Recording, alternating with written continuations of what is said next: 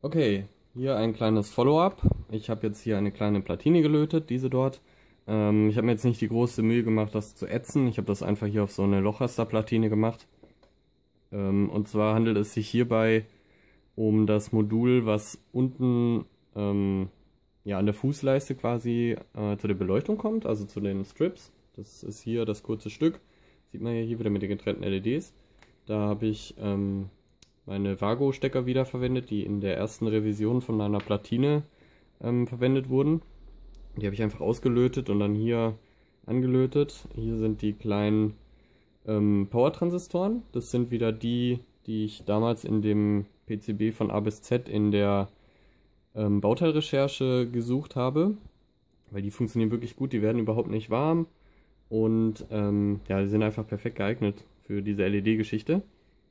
Ähm, hier habe ich dann einfach mit Silberdraht das Ganze mit äh, Drain hier verbunden.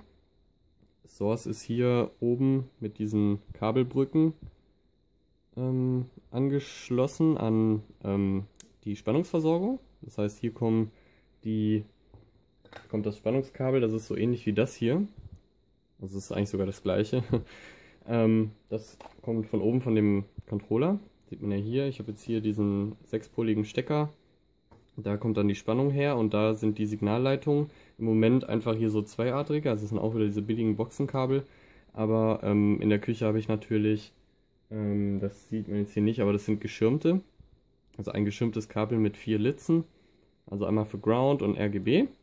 Die kommen dann hier an diese orangene und sind hier unten dann über diese schönen farbigen Leitungen direkt hier mit ähm, Gate verbunden.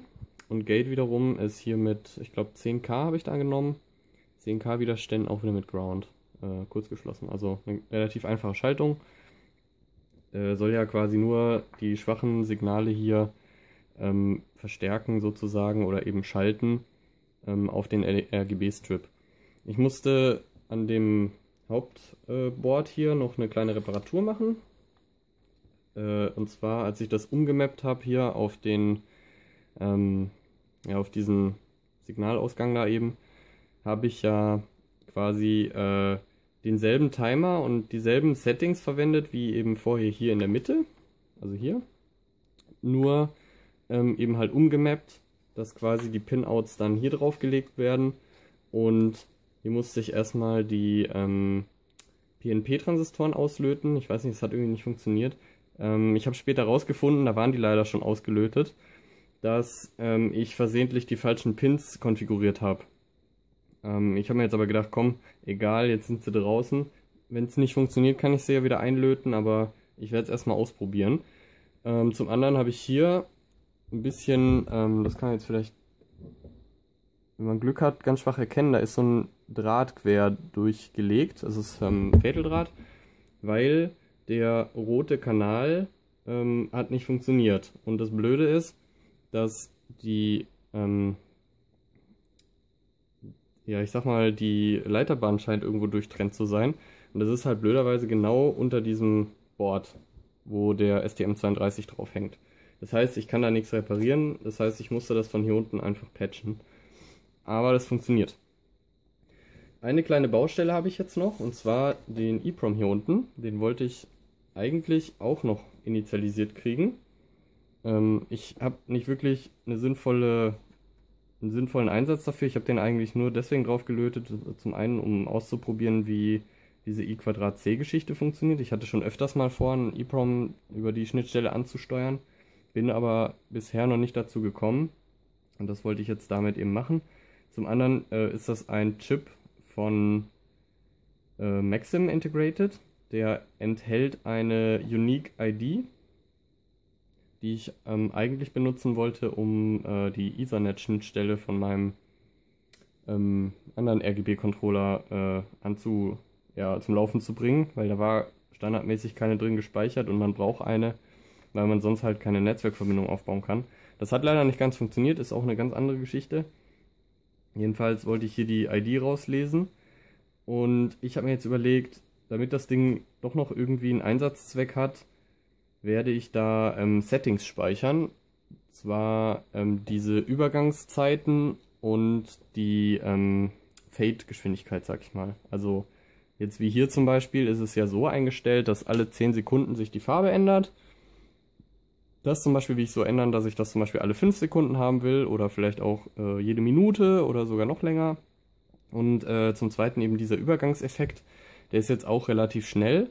Den kann man auch einstellen, dass der halt um einiges langsamer geht. Solche Sachen wollte ich dann halt in dem EEPROM speichern. Das heißt, wenn ich dann irgendwann mal ein Reset mache, soll ähm, die Einstellung quasi beibehalten werden, wenn man das halt dann wieder einschaltet. Also so wie, wie ich es zuletzt halt hinterlassen habe. Äh, ich kann die Einstellung halt über Bluetooth verändern.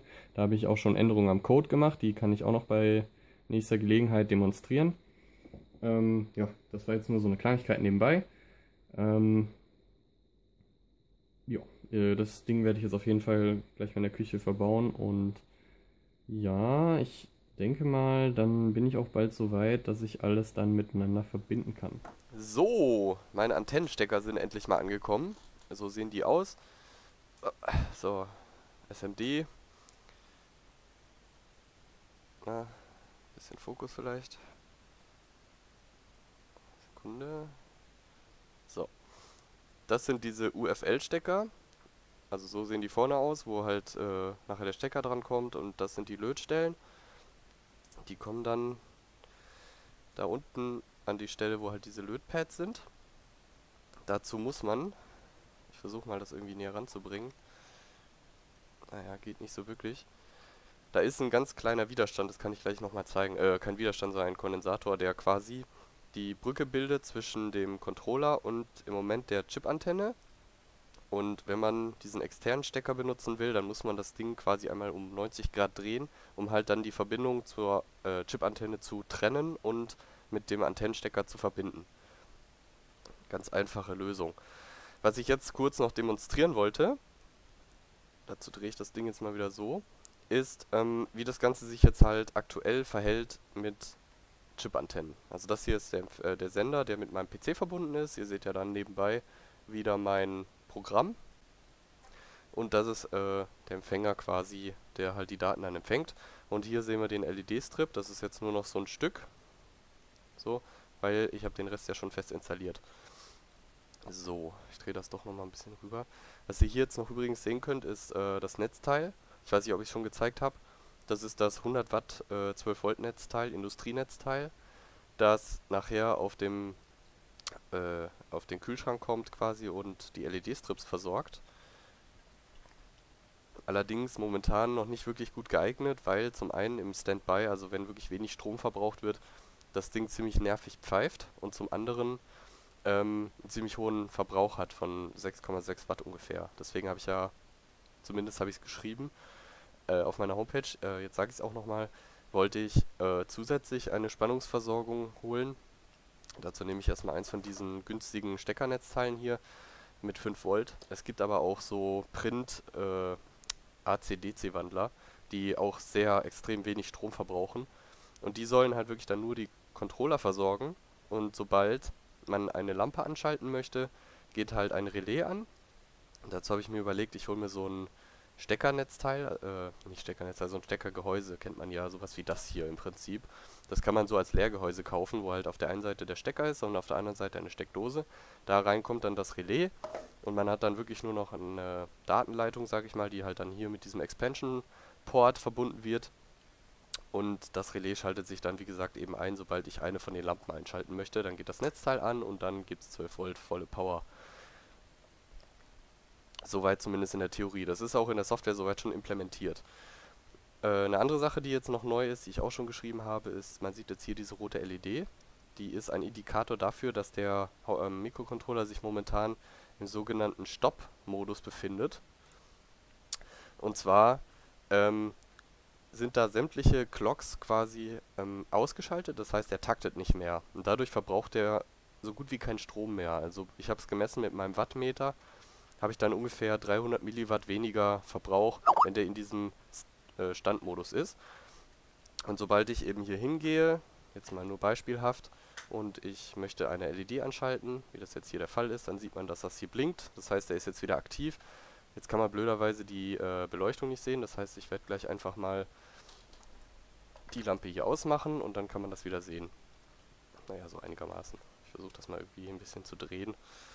Vielleicht ist das dann irgendwie ein bisschen besser zu sehen. Ähm, genau. Und wenn ich das ausschalte, dann muss man 30 Sekunden warten und dann wird das wieder rot.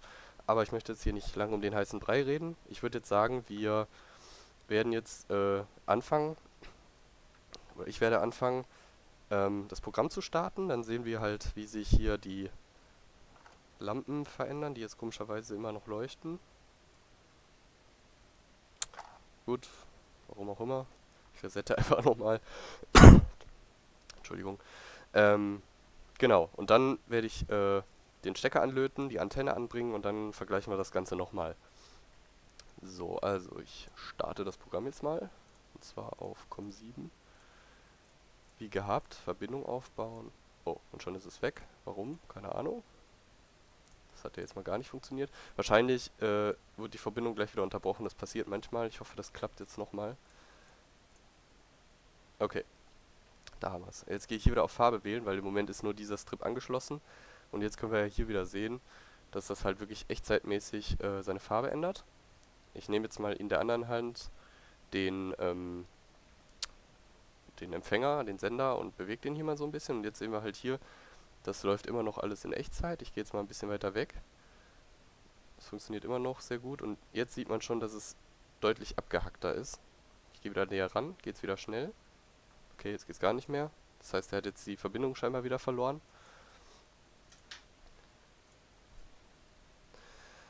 Ähm, genau. Dann versuche ich das jetzt nochmal zu starten. So. Verbinden. Meine Güte, was ist denn hier los? Ah, jetzt, jetzt ist das Programm wieder ganz abgestürzt. ist noch nicht perfekt, das muss ich leider zugeben. Ah, kurz die USB-Verbindung trennen. So.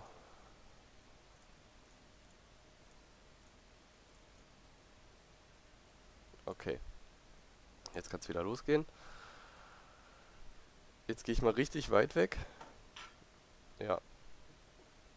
Also hier scheint, es scheint ein bisschen auch äh, von der Ausrichtung abzuhängen. Wenn ich das jetzt hier habe zum Beispiel, dann geht das eigentlich ganz gut. Aber wenn ich jetzt wieder ein bisschen weiter weggehe... Boah, das sieht man jetzt hier nicht. Moment...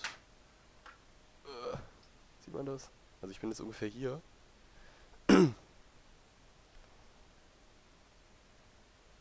Ja, jetzt ist schon wieder die Verbindung scheinbar weg. Das funktioniert schon wieder nicht.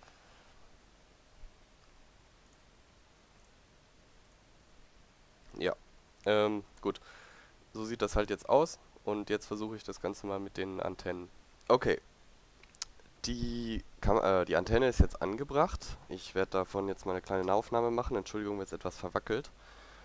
So, hier haben wir jetzt unser Funkmodul. Und man kann jetzt sehen, dass ich da halt diesen Stecker angelötet habe. Beziehungsweise man kann eigentlich jetzt noch den Stecker von der Antenne sehen, aber glaubt's mir einfach, ich habe es da angebracht. Und da unten, das sieht ein bisschen unordentlich aus. Ich muss auch sagen, ich darf nie wieder die Aussage benutzen, irgendwas mal eben zu machen. Denn das war extrem aufwendig, weil dieser Widerstand, äh, dieser Kondensator, den man da umlöten muss, der ist ultra winzig klein. Und eigentlich ist es fast unmöglich, das Ding ohne Lupe festzulöten. Vor allem muss man da auch so ein bisschen auf die Temperatur achten und so weiter. Ich musste auch aus dem Keller noch ein anderes Funkmodul holen, weil mir einer von den Kondensatoren runtergefallen ist und es ist absolut unmöglich, den wiederzufinden. Von denen hier habe ich ja zum Glück sechs Stück damals bestellt. Äh, und ich werde rausfinden, was das für einer ist und den bei der nächsten Reichelbestellung dann mit dabei tun und dann funktioniert das Modul hier auch wieder. Ja, ich habe jetzt hier dieses Kabel dann, was halt äh, quasi ein Adapter ist für diesen Schraubanschluss hier, der nennt sich ja dann, ich glaube PSMA war das. Und hier hängt dann diese D-Log-Antenne dran. Und das gleiche habe ich dann auch nochmal auf der anderen Seite gemacht, hier bei meinem äh, USB-Adapter. Das kann man dann hier auch wieder sehen, hoffe ich jedenfalls. Äh, hier sieht man das vielleicht auch ein bisschen mit dem Kondensator. Ist jetzt nicht die perfekte Lötarbeit, aber es funktioniert. Hier ist dann auch wieder der Stecker dran und hier eben entsprechend auch wieder die Antenne. Und das Ganze habe ich mir jetzt einfach auf den Rechner draufgestellt und ich war sehr positiv also erfreut, überrascht, dass das Ganze tatsächlich funktioniert hat. Die Reichweite hat sich enorm erhöht. Ihr könnt euch ja gerade noch erinnern, wo ich das Ding hier drüber gehalten habe und ich habe es ein paar Zentimeter quasi nur weggehalten und schon ging das nicht mehr. Und jetzt habe ich hier eine Reichweite. Ich kann es euch, also was ich euch jetzt demonstriere, ist, dass hier nach wie vor der Empfänger eben liegt mit der Antenne. Die ist jetzt auch nicht großartig ausgerichtet. Hoppala. Und hier drüben, da oben, ja, hier, da ist quasi das Funkmodul. Das ist jetzt von der Distanz her ungefähr anderthalb Meter. Und das funktioniert perfekt. Ich kann das jetzt auch nochmal zeigen. Ich habe hier wieder mein Programm. Und die Maus reagiert nicht. So, jetzt starten. Ach so, Moment. Ich muss das Ding natürlich erst noch einstecken. das kann ich jetzt direkt hier am PC machen. So. Also starten. COM 7 scannen, er findet das Ding sofort, ich kann die Verbindung aufbauen, man sieht auch hier, das geht schon super schnell los. Ähm, ich weiß jetzt allerdings nicht, warum der auf einmal so viel Daten zurückschickt, aber gut. Gucken wir erstmal, ob hier...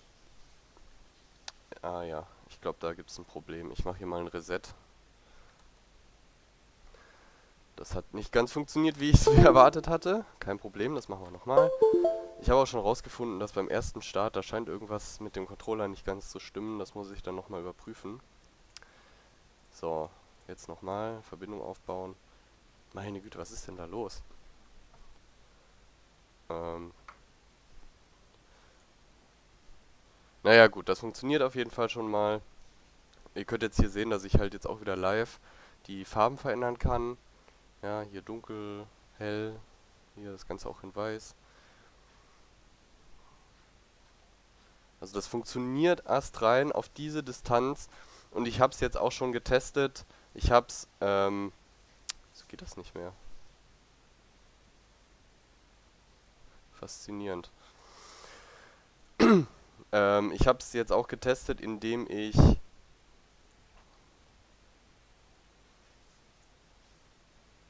Entschuldigung, indem ich den Controller hier in die Küche gebracht habe, also oben auf den Kühlschrank, wo er halt auch nachher ist. Die Antenne habe ich dann aufrecht hingestellt. Ähm, der Empfänger, wie er jetzt auch da auf dem PC ist, das ist eine Distanz von ungefähr 9 Metern und selbst auf die Distanz funktioniert es einwandfrei. Also eine enorme Steigerung zu vorher, wo halt wirklich nur die Chip-Antennen waren und deswegen bin ich äh, mit dem Ziel auch echt zufrieden. Ansonsten habe ich jetzt noch eine kleine Ankündigung. Ich habe schon angefangen, das neue Design zu machen von der Revision 4. Das ist dann auch die finale Revision, die ich dann auch veröffentlichen werde und unter Open Hardware sozusagen, dass ihr das dann nachbasteln könnt. Ähm, ich werde einen anderen Prozessor verwenden und ich werde auch andere Transistoren verwenden, das sage ich schon mal im Voraus. Ich habe da nämlich noch viel coolere Sachen rausgefunden, die im Endeffekt dann auch natürlich günstiger sind, als hier so ein fetter ähm, äh, F103. Und äh, das werde ich dann aber in einem anderen Video nochmal genauer äh, erzählen. Das war jetzt einfach nur mal die Demonstration halt äh, zu dieser Antennengeschichte, die jetzt endlich fertiggestellt ist. Vielen Dank fürs Anschauen, euer Nicktronic.